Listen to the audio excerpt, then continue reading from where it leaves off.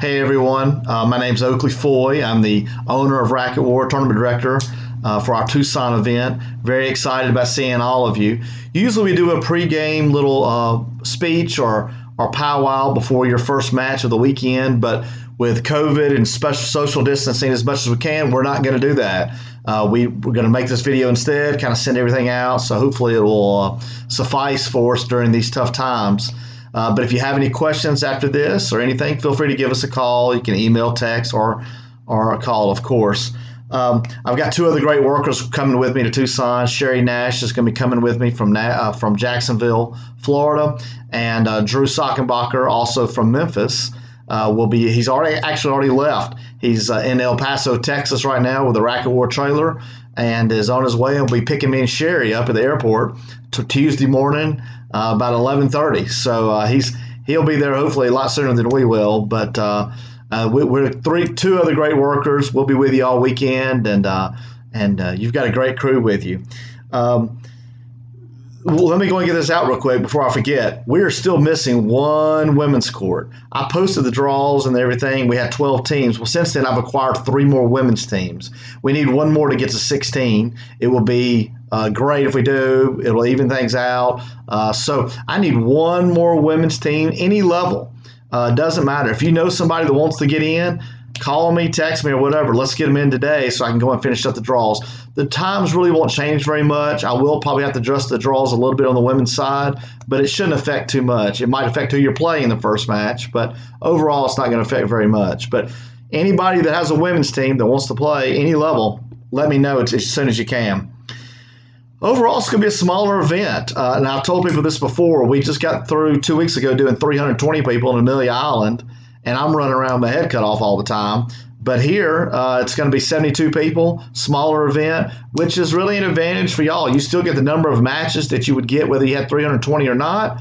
Plus, we get to be a lot more social with you, and things are a lot more relaxed. It's not uh, running gun all the time uh, for the crew and everybody. So, uh, overall, it, it, works really well for y'all having a smaller event like this.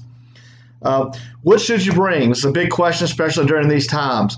Uh, they might have water on the court, they might not. We're not really sure. So, what we've been doing the last couple events is we've been telling everybody bring your own cups, bring your own water bottles, bring your own ice.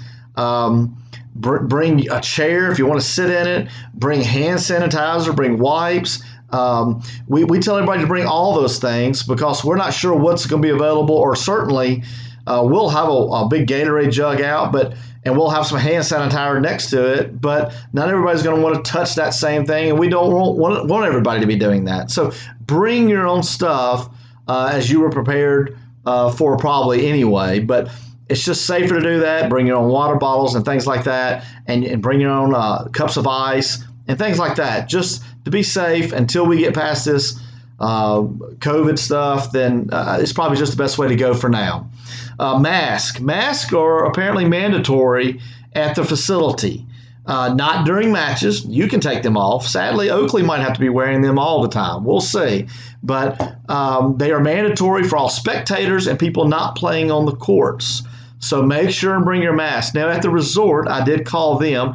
They're only required uh, inside the facility, uh, in the lobby, and stuff like that. Once you're outside by the pool or fire pit or anything like that, masks are not required outside. But at the tennis resort, masks are required at this time if you're not pl- actually playing tennis. Uh, clinic is filled up Thursday night. We've got two sessions. We got a 6:30 and a 7:30 session, uh, four courts uh, six people on a court, so about 24 people in each session, and that will be filled. So just show up on time. We won't be able to slide you if you miss your 6:30. We're full in 7:30. So uh, make sure you get there on time and uh, get to the clinic. It should be fun. We got four of their pros going to be out there working with you. It should be a lot of fun. We'll have the music going. It'll be a blast. First match, uh, I think most of, half the group's playing at 10, the other half's playing at 11 on uh, Friday.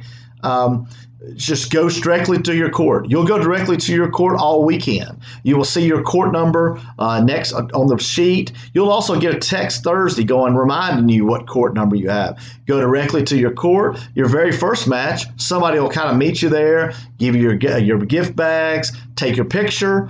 Uh, after your matches, you'll come and report your scores, but the other people should already be sitting at their court waiting to go. So as you're walking off, they're walking on. You come tell us your score, and the whole rotation will continue like that for the whole weekend. So all you do is go directly to your court every time. We're once again we're trying to social distance as much as possible, not have gatherings of people. So if everybody goes directly to the courts, that'll cut down on the gathering for sure. Uh, and that will go on all weekend. After you play your matches, you report your score. You should get a text that tells you when your next match is and what and what court you're on. Um, if that doesn't work, it's no big deal. We'll have the draw boards up that has that information, and of course, everything's always online that shows you what time your next match is and what court number. Tomorrow, Friday, when I say tomorrow, it seems like tomorrow. Fridays are both matches are eight game pro set, no ads. That means you're playing to eight. You're not playing a total of eight. If you come turning the score 6 2, that's wrong. You're playing to 8. It's 7 8. You play one more game to see if somebody can get to 9 7. At, not, at eight, but if it gets to 8 all, then you play a seven point Coman tiebreaker. It's no ad on Friday. So you're really playing to four. One, two, three, four.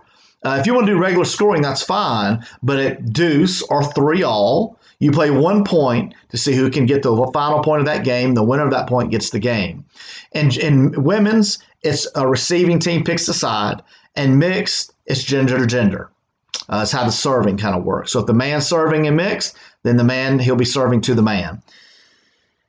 Uh, Saturday and Sunday are regular scoring with a third set 10 point tiebreaker. Um, so just Friday is eight game pro set, no ad. Saturday and Sunday, regular scoring with a third set 10 point tiebreaker.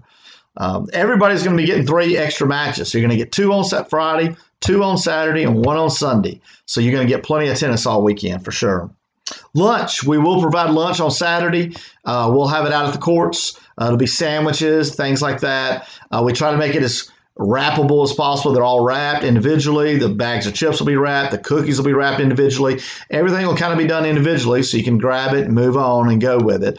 Um, usually we have big trays out, stuff like that. We just can't do that right now. But we will have lunch for you on Saturday. On Friday, you're kind of on your own, but we'll be moving so fast on Friday, uh, it'll be over before you know it. Uh, usually on Friday, for those who played with us before, you know, we usually have a pro am and a match point event after. We just can't do that right now. Um, we it's just too many people to be gathered around all at the same time. So we're not going to have those. We're not even allowed to have beer or anything at the courts, and we usually give that out at the courts. We're not even allowed to do it because it's a public facility. So, um, so th- that won't be available. But I will tell you, we're all staying at the resort. A lot of us are, and I know a lot of you are. Uh, we're every night between nine and ten or whatever. We're going to be out at the fire pit by the pool. The whole crew, the whole Racket crew, and we'll have some wine. We'll have some alcohol. We'll have whatever. Bring your cup. We'll fill you up, and we'll have a good time by the fire pit. Almost, we'll be out there every night, Thursday night, Friday night, and Saturday night, because we want to social with you as much as possible. We'll be able to all spread out, sit around the fire pit, and have a good time. And we'll we'll supply the alcohol if y'all just come with your good good attitudes and glasses, and we'll have a good time. That's really it. Uh, we're looking forward to seeing everybody. Safe travels in for the, everybody who's traveling. Um, if you've got accommodations through the, the, the Omni there at the Tucson, just check in at the desk. They've got you all set up. We're looking forward to meeting all of you and seeing you all soon and having a great weekend. Thanks.